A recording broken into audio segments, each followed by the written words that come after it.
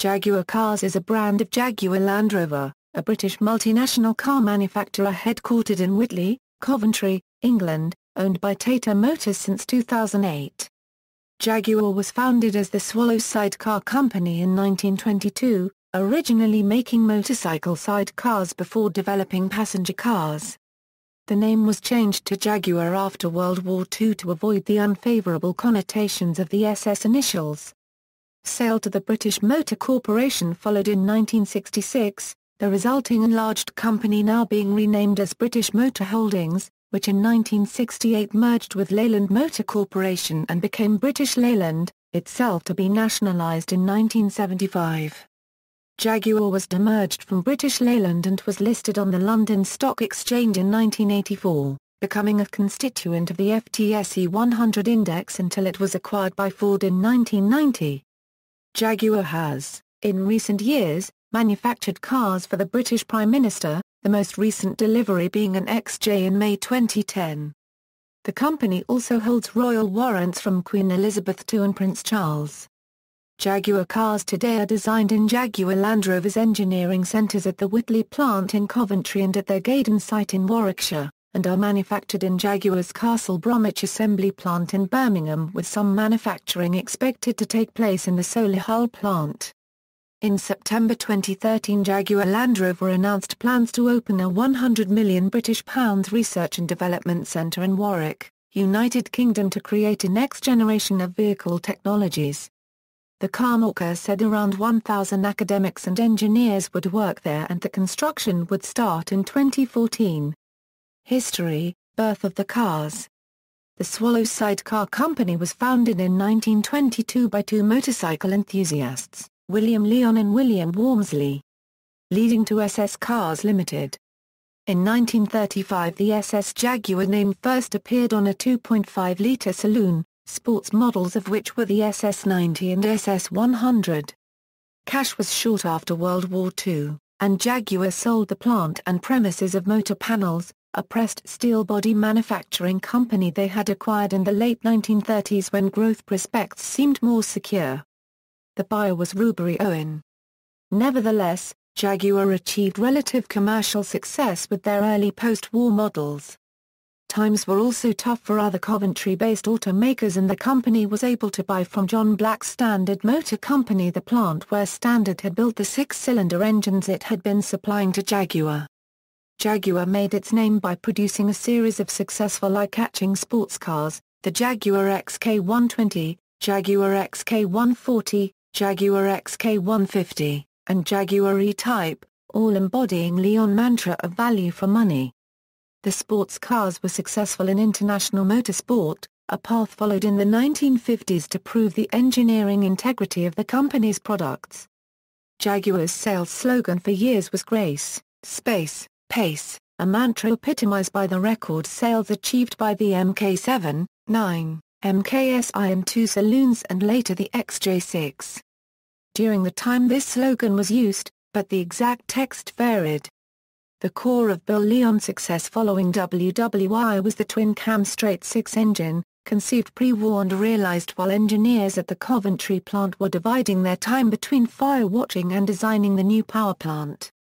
It had a hemispherical cross-flow cylinder head with valves inclined from the vertical. Originally at 30 degrees and 45 degrees and later standardized to 45 degrees for both inlet and exhaust.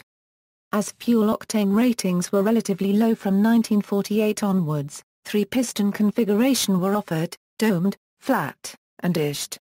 The main designer, William Bill Heynes, assisted by Walter Wally Hassan, was determined to develop the twin OHC unit. Bill Lyons agreed over misgivings from Hassan. It was risky to take what had previously been considered a racing or low-volume and cantankerous engine needing constant fettling and apply it to reasonable volume production saloon cars. The subsequent engine was the mainstay power plant of Jaguar, used in the XK120, MK7 saloon, MKI 2 saloons and XK 140 and 150. It was also employed in the E-Type, itself a development from the race-winning and Le Mans conquering C and D-Type sports racing cars refined as the short-lived XKSS, a road-legal D-Type. few engine types have demonstrated such ubiquity and longevity, Jaguar used the twin OHC XK engine, as it came to be known, in the Jaguar XJ6 saloon from 1969 through 1992, and employed in AJ60 variant as the power plant in such diverse vehicles as the British Army's Combat Vehicle Reconnaissance family of vehicles, as well as the Fox Armoured Reconnaissance Vehicle, the Ferret Scout Car, and the Stonefield four-wheel drive all-terrain lorry. Properly maintained, the standard production XK engine would achieve 200,000 miles of useful life. Two of the proudest moments in Jaguar's long history in motorsport involved winning the Le Mans 24 Hours race, firstly in 1951 and again in 1953. Victory at the 1955 Le Mans was overshadowed by it being the occasion of the worst motorsport accident in history. Later in the hands of the Scottish racing team Ecurie Ecosse more wins were added in 1956 and 1957. In spite of such a performance orientation, it was always Lyons' intention to build the business by producing world-class sporting saloons in larger numbers than the sports car market could support. Jaguar secured financial stability and a reputation for excellence with a series of elegantly styled luxury saloons that included the 3-litre and 3 or 1/2-litre cars, the Mark 7, 8, and 9, the compact Mark I and II, and the XJ6 and XJ12. All were deemed very good values, with comfortable rides, good handling, high performance, and great style. Combined with the trend-setting XK120, XK140, and XK150 series of sports car, a non-Pirelli E-Type, Jaguar's Elan as a prestige motor car manufacturer had few rivals. The company's post-war achievements are remarkable, considering both the shortages that drove Britain and the state of metallurgical development of the era. In 1951, Jaguar leased Browns Lane from the Daimler Company Limited, which quickly became its principal plant. Jaguar purchased Daimler a Euro not to be confused with Daimler-Benz or Daimler AG Euro in 1960 from BSA. From the late 1960s, Jaguar used the Daimler mark as a brand name for their most luxurious saloons. An end to independence, Pressed Steel Company Limited made all Jaguar's bodies leaving provision and installation of the mechanicals to Jaguar. In mid-1965 British Motor Corporation, the Austin Morris Combine, bought Pressed Steel. Alarmed by Jaguar's relegation to the position of non-preferred customer by the maker of the largest part of its products Sir William Lyons elected to not fight BMC's offer to buy Jaguar and BMC took control in September 1966. In view of these significant acquisitions, Pressed Steel and Jaguar, BMC changed its name to British Motor Holdings at the end of 1966.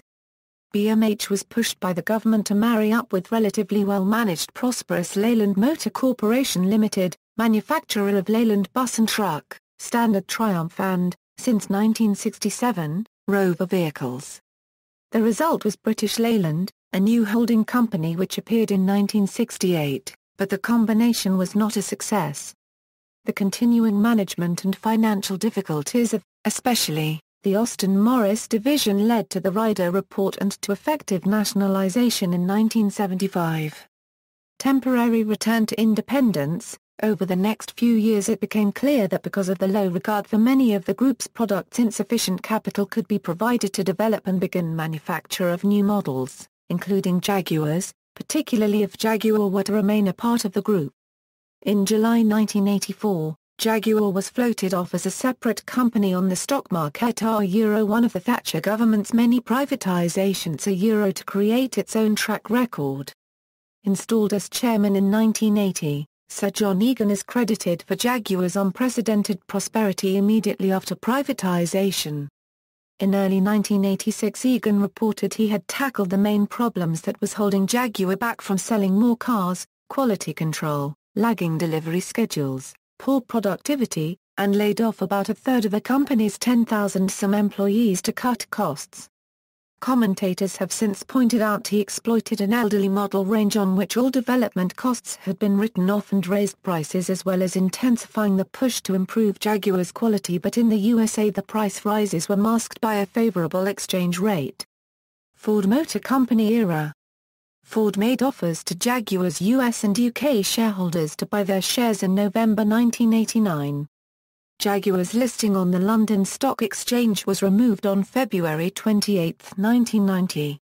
In 1999 it became part of Ford's new Premier Automotive Group along with Aston Martin, Volvo Cars and, from 2000, Land Rover. Under Ford's ownership, Jaguar never made a profit. Under Ford's ownership Jaguar expanded its range of products with the launch of the S-Type in 1999 and X-Type in 2001.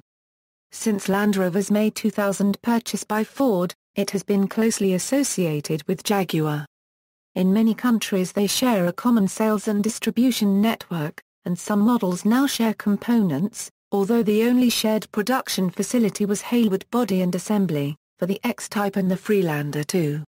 However operationally the two companies were effectively integrated under a common management structure within Ford's PAG.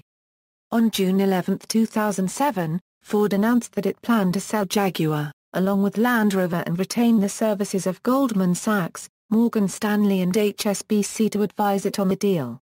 The sale was initially expected to be announced by September 2007, but was delayed until March 2008. Private equity firms such as Alchemy Partners of the UK, TPG Capital, Ripplewood Holdings, Cerberus Capital Management and One Equity Partners of the US, Tata Motors of India and a consortium comprising Mahindra and Mahindra and Apollo Management all initially expressed interest in purchasing the marks from the Ford Motor Company. Before the sale was announced, Anthony Bamford, chairman of British excavator manufacturer JCB had expressed interest in purchasing the company in August 2006, but backed out upon learning that the sale would also involve Land Rover, which he did not wish to buy. On Christmas Eve of 2007, Mahindra and Mahindra backed out of the race for both brands, citing complexities in the deal. Tata Motors era, on January 1, 2008, Ford formally declared that Tata was the preferred bidder. Tata Motors also received endorsements from the Transport and General Workers Union Amicus Combine as well as from Ford. According to the rules of the auction process, this announcement would not automatically disqualify any other potential suitor. However, Ford would now be able to enter into detailed discussions with Tata concerning issues ranging from labor concerns, technology and intellectual property, as well as the final sale price. Ford would also open its books for a more comprehensive due diligence by Tata. On March 18, 2008, Reuters reported that American bankers Citigroup and JP Morgan would finance the deal with a 3 billion US dollars loan. On March 26, 2008, Ford announced that it had agreed to sell its Jaguar and Land Rover operations to Tata Motors of India, and that they expected to complete the sale by the end of the second quarter of 2008. Included in the deal were the rights to three other British brands, Jaguar's own Daimler, as well as two dormant brands Lanchester and Rover. On June 2, 2008, the sale to Tata was completed at a cost of a £1.7 billion. Assembly plant, the Swallow Sidecar Company was originally located in Blackpool but moved to Holbrook Lane, Coventry in 1928 when demand for the Austin Swallow became too great for the factory's capacity.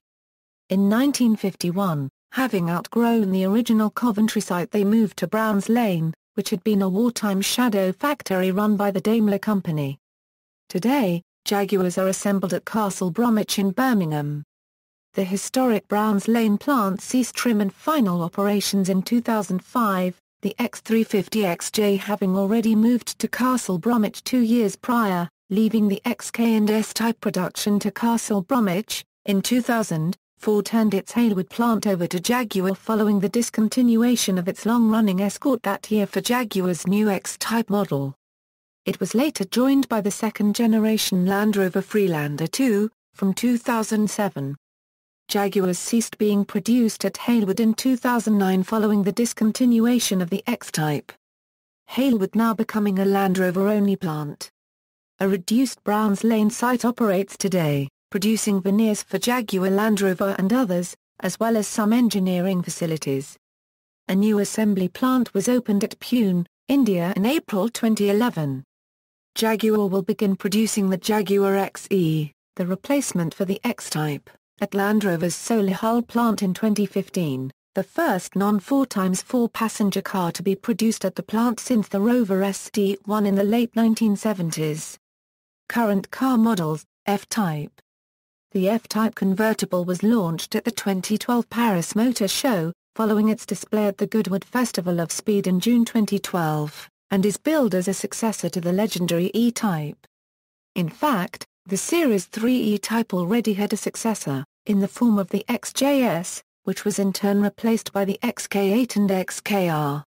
The F-Type nevertheless returns to the two-seat plan that was lost with the introduction of the Series 3 E-Type, which was available only in a 2 plus 2-seat configuration. It was developed following the positive reaction to Jaguar's CX-16 concept car at the 2011 Frankfurt Auto Show. Sales will begin in 2013 with three engine choices. Two variants of the AJ126 V6 petrol engine and the AJ133 V8 petrol engine. XF The Jaguar XF is a mid-size executive car introduced in 2008 to replace the S-Type. In January 2008, the XF was awarded the What Car? Car of the Year and Executive Car of the Year awards. The XF was also awarded Car of the Year 2008 from What Diesel? magazine. Engines available in the XF are 2.2-litre 04 and 3.0-litre V6 diesel engines, or 3.0-litre V6 and 5.0-litre V8 petrol engines. The 5.0-litre engine is available in supercharged form in the XFR. From 2011, the 2.2-litre diesel engine from the Land Rover Freelander was added to the range as part of a facelift. XJ The Jaguar XJ is a full-size luxury saloon.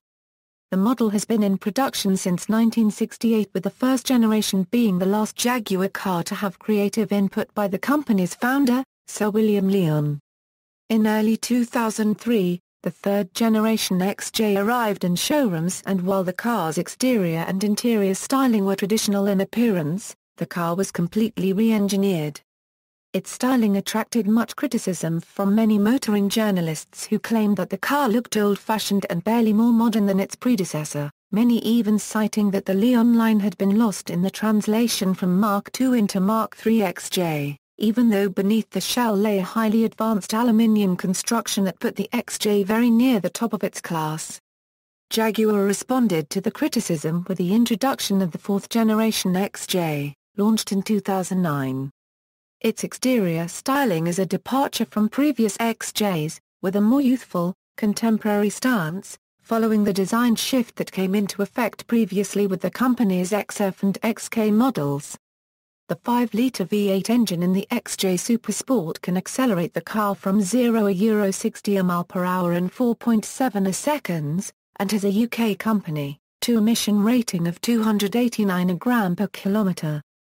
To cater to the limousine market, all XJ models are offered with a longer wheelbase as an option, which increases the rear legroom. XK The Jaguar XK is a luxury Grand Tourer introduced in 2006, where it replaced the XK8 launched in 1996. The XK introduced an aluminium monocoque body shell, and is available both as a two-door coupe copyright and two-door cabriolet convertible. Our models Jaguar began producing A models in 1995 with the introduction of the first XJR. Powered by a supercharged six-cylinder engine, the car produced approximately 322 horsepower, with the revamped line of engines, the power plant would be based on an eight-cylinder engine with supercharger from 1997 to present.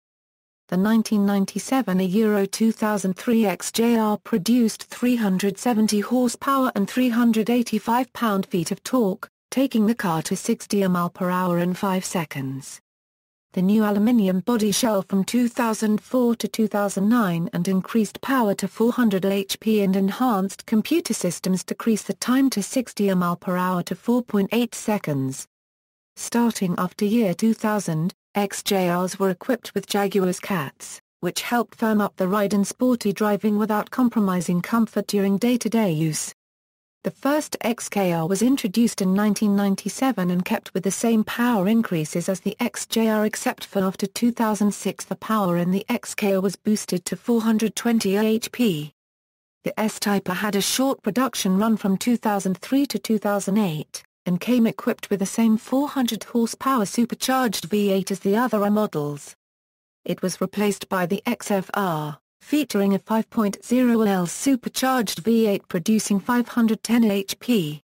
Jaguar XFR AA 510 HP a mid-size saloon, Jaguar XKR AA 510 HP a Coupe copyright and cabriolet, Jaguar XFR ZA A 550 HP a mid-size saloon, Jaguar XKR ZA A 550 HP a Coupe copyright and cabriolet, Jaguar XJR. Jaguar F-Type RA A 550 HPA Cooper copyright, future models. After years of speculation, Jaguar designer Ian Callum confirmed in early 2012 that there would not be a Jaguar SUV, but suggested that he may be designing a crossover for Jaguar.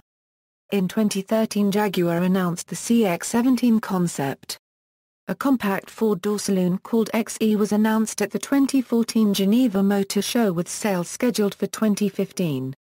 Previous models, recent. The Jaguar S-Type, first appeared in 1999 and stopped production in 2008. It has now been replaced by the Jaguar XF. Early S-Type suffered from reliability problems but those were mostly resolved by the 2004 model year. The Jaguar X-Type was a compact executive car launched in 2001, while the company was under Ford ownership. Sharing its platform with a 2000 Ford Mondeo, the X-Type ceased production in 2009. Historic The Jaguar company started production with the pre-war 1.5, 2.5 and 3.5-litre models, which used engines designed by the Standard Motor Company. The 1.5-litre four-cylinder engine was still supplied by Standard but the two larger six-cylinder ones were made in-house. These cars have become known unofficially as Mark IVs. The first post-war model was the 1948 Mark V available with either 2.5 or 3.5-litre engines, and it had a more streamlined appearance than pre-war models, but more important was the change to independent front suspension and hydraulic brakes. The big breakthrough was the launch in 1948 of the XK120 sports car, powered with the new XK twin overhead camshaft 3.5-litre Hemi head six-cylinder engine designed by William Heynes, Walter Hassan and Claude Bailey. This engine had been designed at night during the war when they would be on firewatch in the factory. After several attempts a final design was achieved. That is until owner William Lyons said make it quieter. The car had originally been intended as a short production model of about 200 vehicles as a test bed for the new engine until its intended home, the new Mark 7 Saloon, was ready. The XK120's exceptional reception was followed in 1954 by the introduction of the derivative XK140, and a much revised XK150. Jaguar launched E-Type in 1961. Along with sports cars, Jaguar maintained a strong place in the upscale saloon car market. Introducing the large Mark 7 in 1951, a car especially conceived for the American market, Jaguar was overwhelmed with orders. The Mark 7 and its successors gathered rave reviews from magazines such as Road and Track and The Motor. In 1956 a Mark 7 won the prestigious Monte Carlo Rally. In 1955, the 2.4-litre saloon was the first monocoque car from Jaguar. Its 2.4-litre short-stroke version of the XK engine provided 100 mph performance. In 1957, the 3.4-litre version with disc brakes, wire wheels and other options was introduced, with a top speed of 120 mph. In 1959, an extensively revised version of the car with wider windows and 2.4, 3.4, and 3.8-liter engine options became the Mark II. The 3.8 Mark II was popular with British police forces for its small size and 125 mph performance. The Mark 8 of 1956 and Mark 9 of 1958 were essentially updates of the Mark 7, but the Mark X of 1961 was a completely new design of large saloon with all-round independent suspension and unitary construction. The independent rear suspension from the Mark X was incorporated in the 1963 S-Type, which closely resembled the Mark II, and in 1967 the Mark II name was dropped when the small saloon became the 240-340 range. The 420 of 1966, also sold as the Daimler Sovereign, put a new front onto the S-Type, although both cars continued in parallel until the S-Type was dropped in 1968. The Mark X became the 420G in 1966. Of the more recent saloons, the most significant is the XJ. From 1968 on, the Series IXJ saw minor changes, first in 1973, 1979, a complete redesign for 1986 1987s in XJ40, further modifications in 1995, in 1997 with V8 power, and a major advance in 2003 with an industry-first aluminium monocoque chassis. The most luxurious XJ models carried either the Vanden Plas or Daimler nameplates. In 1972, the 12-cylinder engine was introduced in the XJ while simultaneously being offered in the E-Type. 1992 saw the introduction of the mid-engined, twin-turbo XJ220, powered by a 542 bhp V6 engine. The XJ220 was confirmed the fastest production car in the world at the time after Martin Brundle recorded a speed of 217 mph on the Nardo track in Italy. Over the years many Jaguar models have sported the famous chrome-plated leaping Jaguar, traditionally forming part of the radiator cap. Known as the Leaper this iconic mascot has been the subject of controversy in recent times when banned for safety reasons from cars supplied to Europe whilst it continued to be fitted on cars destined for the United States, Middle East and Far East. It has now been dropped from all the latest Jaguar models. Complete lineup Concept models, E1AA Euro the 1950s E-Type concept vehicle, E2AA Euro the second E-Type concept vehicle, which raced at Le Mans and in the USA, Piranha Euro designed by Bertone, XJ13 a Euro built to race at Le Mans, never run, XK180 a Euro Roadster concept based on the XK8, F-Type a Euro Roadster, similar to the XK8 but smaller, R Cooper copyright a Euro large four-seater Cooper copyright, Fur XF10, RD6 a Euro compact four-seat Cooper copyright, XKR. A Euro a high-performance version of last generation XK Cooper copyright, XKRS a Euro another performance spec version of last generation XK convertible, Concept 8 a Euro super luxury version of the long wheelbase model of the XJ. CXF a Euro precursor to the production model XF Saloon, CX-75 a Euro hybrid electric sports car, originally intended for production but cancelled in 2012, CX-16 a Euro precursor to the production model F-Type, CX-17 a Euro first ever Jaguar SUV concept, Project 7 a Euro a 542 a BHP V8-powered open speedster that can be described as the F-Type crossed with the D-Type. Engines, Jaguar has designed in-house four generations of engines. Historical engines, Jaguar XK6 engine Euro inline 6, Jaguar V12 engine Euro V12, Jaguar AJ6 engine and AJ16 engine Euro inline 6. Current engines, Jaguar AJ V8 engine Euro V8. Jaguar AJ V6 engine Euro V6, Jaguar AJ DV6 engine Euro V6. Motorsport, see also, Jaguar Racing and Jaguar XJ are sports cars. The company has had major success in sports car racing, particularly in the Le Mans 24 Hours. Victories came in 1951 and 1953 with the C-Type, then in 1955, 1956 and 1957 with the D-type. The manager of the racing team during this period, Lofty England, later became CEO of Jaguar in the early 1970s. Although the prototype XJ13 was built in the mid-1960s it was never raced, and the famous race was then left for many years. In 1982, a successful relationship with Tom Walkinshaw's TWR team commenced with the XJS competing in the European Touring Car Championship, which it won in 1984. In 1985, the TWR-XJS won the Bathurst 1000 race. In the mid-1980s TWR started designing and preparing Jaguar V12-engined Group C cars for World Sports Prototype Championship races. The team started winning regularly from 1987, and won Le Mans in 1988 and 1990 with the XJR Series sports cars. The Jaguar XJR14 was the last of the XJRs to win, taking the 1991 World Sports Car Championship. In the 1999, Ford decided that Jaguar would be the corporation's Formula One entry.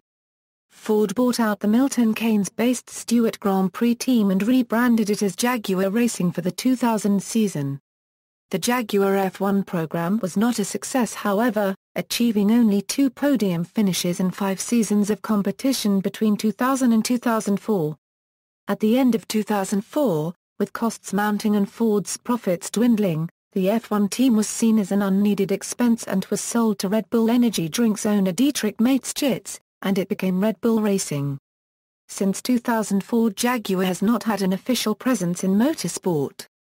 Notable Jaguar sports racers, Jaguar C-Type, Jaguar D-Type, Jaguar Lightweight E-Type, Jaguar XJ13, Jaguar XJR Sports Cars, Jaguar XJR9, XJ220, XJR15, electric vehicles, Lotus Cars join Jaguar, Mira Limited and Caparo on a luxury hybrid executive sedan project called Limo Green a Euro funded by the UK Government Technology Strategy Board. The vehicle will be a series plug-in hybrid. Jaguar and the Arts For some time now Jaguar has been active in the international arts scene. In particular, the company has collaborated with the artist Stefan Szczesny, implementing major art projects. In 2011, Jaguar presented the exhibition series Shadows, which involved the installation of Szczesny's shadow sculptures in Sankt Moritz, on Sylt and in Saint-Tropez. In 2012, a large number of sculptures, ceramics and paintings were shown in Frankfurt. As part of the collaboration with Szczesny, Jaguar has released the Jaguar Art Collection. References External links, official website, official Jaguar Heritage website, Jaguar cars at DMOZ.